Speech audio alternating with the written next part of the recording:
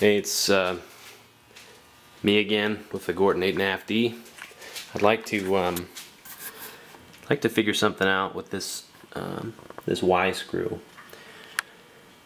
It's uh, it's a little worn. I mean, I've seen I've seen worse wear, but there's there's quite a bit of quite a bit of backlash as you can see. Uh, that's doing nothing, you know. The um, on the uh, on this this x-axis it's the same. Um, but I'd really like to replace this Acme uh, shaft. And um, but I, I'm not really sure what needs to come out. And um, I don't know if any of you guys have done that uh, and could share with me just how how difficult or easy it is. Um, I mean obviously this um, well, I, am assuming at least that I'm going to have to remove the table. Um, but I don't even know if that's, I don't even know if that's accurate.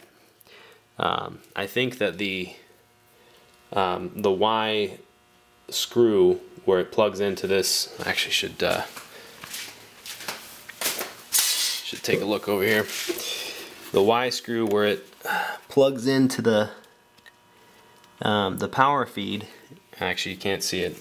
It's attached uh, with a little coupling with uh, with a, basically a stub of a shaft um, that that that sticks out uh, and has a, a, hole through it, and then there's a, a coupling, and then the Acme thread also has a hole in it, and then there's two shear pins that go through the coupling and then through the stub shaft and then the Acme thread.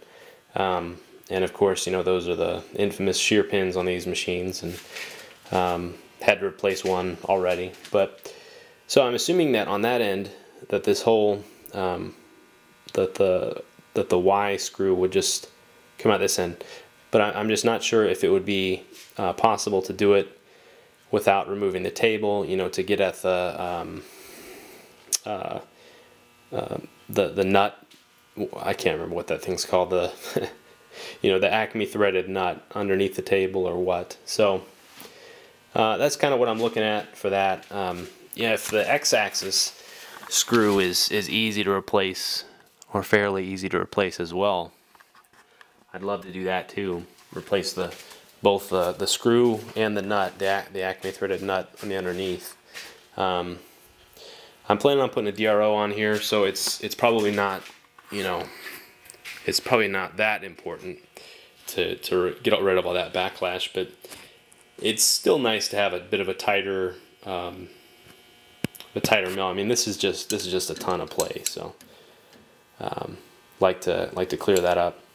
So yeah, if you guys have any suggestions, um, let me know. You can you can see you know in this from this angle that the um, that it looks like that, that nut has two uh, bolts, two cap screws screwed into the underside of the table, but I don't I don't know that I'd be able to get a uh, a wrench down there.